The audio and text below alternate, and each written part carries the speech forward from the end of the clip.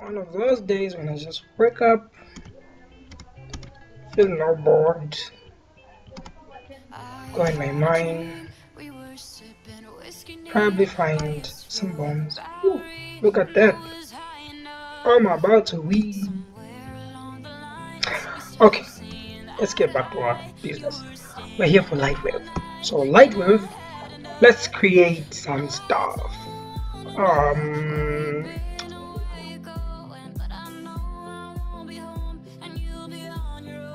let's start with spline.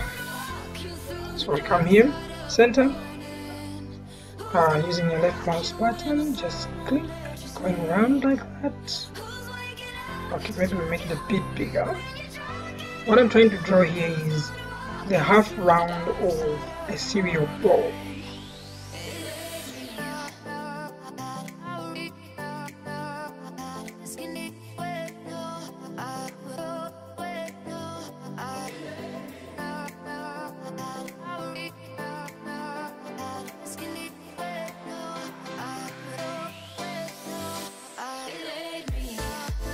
Push the space, go to multiply, leave, put your mouse on the top view, just leave it there, push N on the keyboard.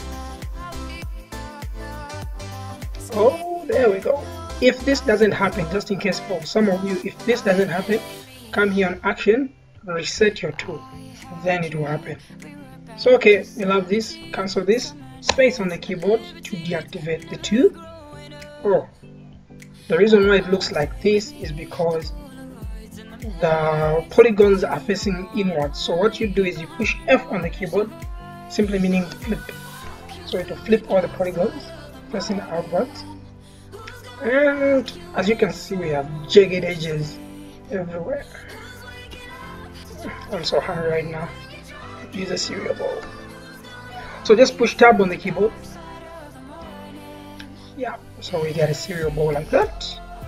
A on the keyboard um, is for centering everything.